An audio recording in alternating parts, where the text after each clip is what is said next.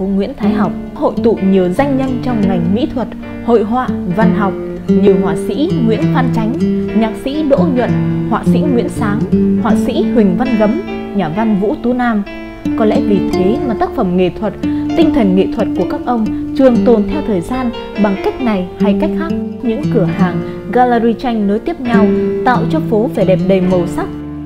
Gallery tranh Đức Minh, số 109 Nguyễn Thái Học một cửa hàng lớn, phong phú, đa dạng trong chuỗi cửa hàng tranh hùng mến có thâm niên gần 20 năm trên con phố này. Chính là nơi gửi gắm các tác phẩm của dân mỹ thuật, là nơi lui tới của những họa sĩ gạo cội cho đến những bạn sinh viên, trở thành địa chỉ quen thuộc của những người yêu tranh và thu hút nhiều người đến thưởng lãm, đắm mình trong sắc màu. Ở đây, mọi hoạt động đều diễn ra khép kín, từ khâu vẽ tranh ngay tại chỗ cho đến căng tranh vào khung, treo trưng bày tranh cho đến lúc trao tác phẩm đến tay người mua.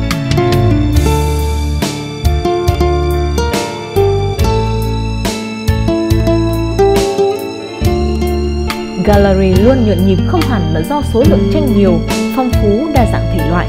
Từ tranh phong cảnh thiên nhiên tươi đẹp hay đồng quê bình yên đến những bức tranh phản ánh đời sống, tâm tư tình cảm, sinh hoạt hàng ngày theo nhiều phong cách cổ điển, tân cổ điển, đương đại hoặc lịch thể bằng nhiều loại chất liệu nhưng nhiều nhất vẫn là tranh sơn dầu để người mua có nhiều lựa chọn mà còn là bởi chủ cửa hàng hiểu về tranh lại sởi lời và khéo chiều khách nên người bán, người mua đều vui vẻ. Từ những khách hàng lớn tuổi đến những sinh viên đến đây đều có thể dễ dàng tìm được cho mình một bức tranh vừa ý, hợp gu. Chủ cửa hàng tranh Đức Minh sinh nghiệp và gắn bó với nghề tranh ở phố Nguyễn Thái Học đã lâu. Xuất phát điểm cũng bắt đầu từ tình yêu, sự đam mê với tranh mà ban đầu mở một cửa hàng nhỏ mang tên Hùng Mến là tên của hai vợ chồng từ khi con phố này chỉ lác đác một vài nơi kinh doanh tranh sau này thành cả dãy phố sầm uất hai vợ chồng mở thêm một cửa hàng tranh mang tên con trai Đức Minh, to đẹp hơn, kèm theo cả kiến trúc nội thất để đáp ứng mọi nhu cầu của khách hàng.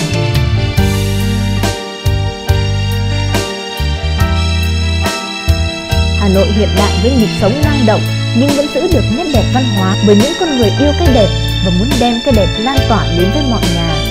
Phố tranh Nguyễn Thái Học, tô điểm cho đời bằng sắc màu và tài hoa của những nghệ sĩ tô đẹp cho Hà Nội ngàn năm văn hiến bằng tình người ấm áp và nét đẹp văn hóa trong kinh doanh, khiến Hà Nội năng động nhưng vẫn giữ được nét đẹp duyên dáng, thanh lịch.